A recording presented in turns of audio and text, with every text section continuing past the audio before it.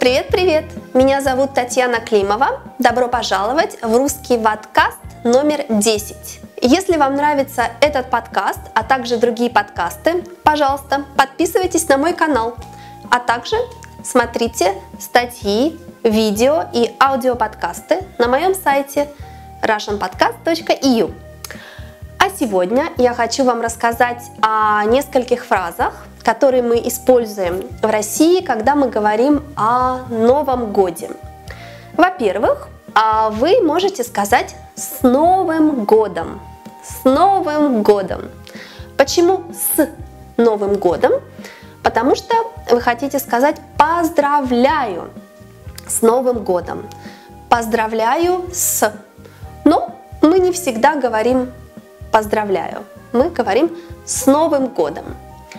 С Новым годом. Если это еще не Новый год, не 1 января, вы можете сказать с наступающим Новым годом. С наступающим Новым годом.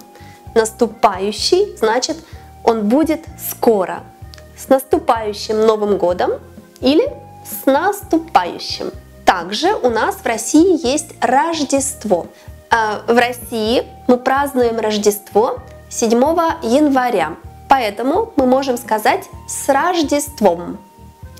А очень часто, если вы пишете новогоднюю открытку, а, вы можете сказать с Новым годом и Рождеством. С Новым годом и Рождеством. Если вы хотите сказать, чего вы желаете, мы используем родительный падеж. Например, счастья, радости, здоровья, успехов.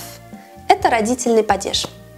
Дорогие друзья, дорогие зрители, слушатели, я вас поздравляю с наступающим Новым годом и Рождеством. Желаю вам счастья, успеха, удачи и много-много любви.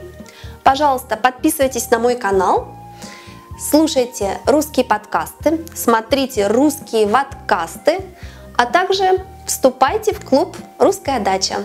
С наступающим! Пока-пока!